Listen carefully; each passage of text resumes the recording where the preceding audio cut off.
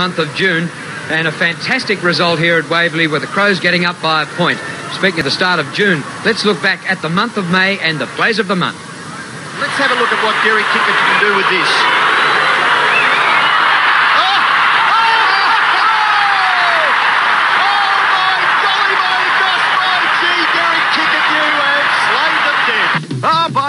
My gosh, by gee, Ian Robinson. What a great way to begin the plays of May.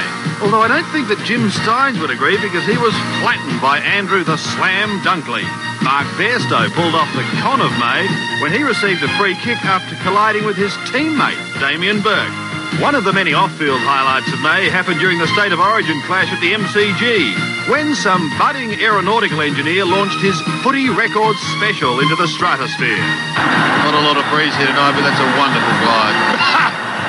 Congratulations are in order to Alastair Lynch for taking the initiative to use a drop kick when shooting for goal, even though he was only two metres out. Those Lions are certainly playing with confidence. And commiserations to James Manson for kicking into Matty Larkin's back from point blank range. Ah, James, it's enough to give you the sheiks of the SCG had plenty to dance about at the premiere of Doug Hawkins' new career, The Phantom of the Western Oval. To the most unusual behind, and young Shane Watson decided to hit both goalposts. Sorry, Shane, but it counts as only one point.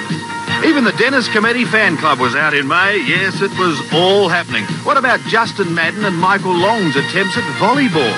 Or the launch of Bumper Numpweek, while Troy Ugle qualified for the final of the policeman's hurdle.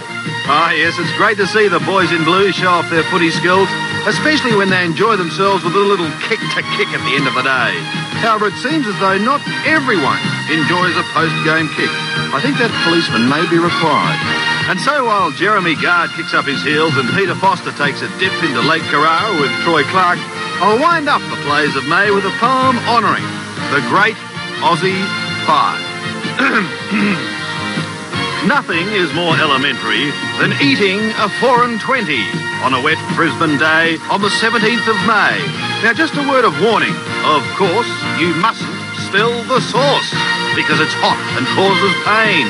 While on clothes, it may well stain. So remember, if you can keep the sauce off your cheater, you'll be a great Aussie pie eater. Thank you, thank you, thank you very much. The players of the month for May. We won't be giving that lady statistics. In fact, we'll go to the footballer statistics. Look at Scotty, can you speak? Oh, it's terrific stuff. beauty, isn't it? what about the Germans? That it was fantastic to watch the two of them. Ah, well, the, the, the Germans, look,